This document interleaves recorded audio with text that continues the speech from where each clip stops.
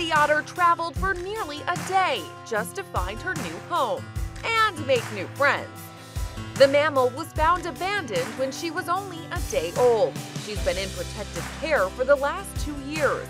Rescue teams unsuccessfully tried to reintroduce her into the wild, and she was deemed non-releasable by the U.S. Fish and Wildlife Service. When that happens, that sea otter does need a permanent home in an accredited facility like ours that can care for her. But transporting otters can be difficult. Our curator has been working to plan this transport to make sure it went as smoothly and as safely as possible for the animals. We have to transport them out of water, and so we worry about overheating. We unloaded Sea Otter 714 and we gave her access into our behind-the-scenes area. That's when she jumped right into the water and brought her favorite toy along for the journey. But she won't be alone for long.